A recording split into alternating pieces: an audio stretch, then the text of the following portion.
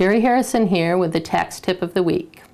The residential energy tax credit is back. This new credit is 30% of cost up to a maximum of $1,500.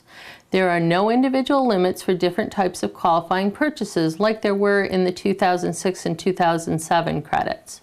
And you are eligible for the credit even if you previously took that $500 credit. The $1,500 credit is currently available for 2009 and 2010. There are no income limitations, so anyone can qualify for this credit. Qualifying expenses include those for insulation, exterior doors and windows, furnaces, and hot water heaters. Be aware that not all windows, doors, and furnaces qualify. Make sure you get in writing from your installer that your purchase will qualify. For example, a furnace must be a minimum of 95% efficiency rating to qualify. Replacing roofs only qualifies if you're adding a metal roof or reflective asphalt shingles.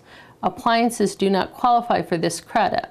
The credit is available for improvements done to your primary residence, not to rental or investment properties.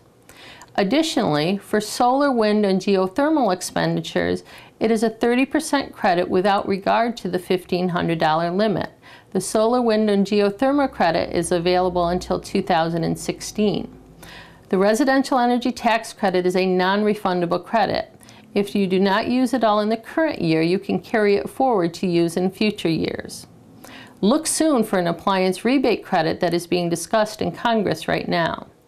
For a more in-depth discussion of the residential energy tax credit, go to gerriharrison.com and review our January 2010 online newsletter. Or call 729-4144 and make an appointment today for help in preparing your income tax return with a residential energy tax credit.